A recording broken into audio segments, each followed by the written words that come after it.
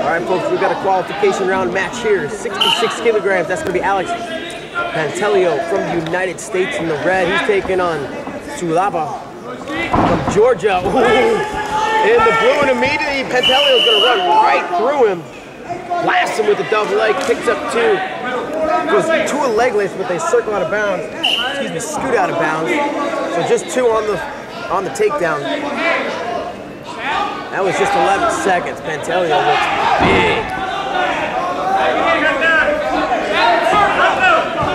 He takes his opponent near the edge, and his hand's going to go out of bounds first. So he'll give up one.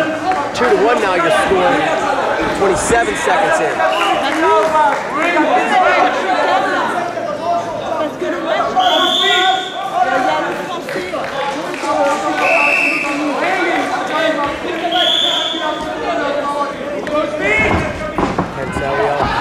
Michigan Wolverine gives up position. Nice job catching with the whistle. He takes him to his back. Pantaleo with a nice throw.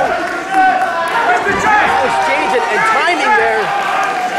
Sulava fighting off of his back, but he's got a long time. Still full two minutes left in this period. And we're going to see fall confirmed 103. Alex Pantaleo catches his foot coming in underneath his arm, whips him over to his back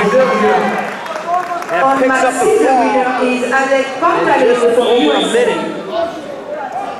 6-1 at the time.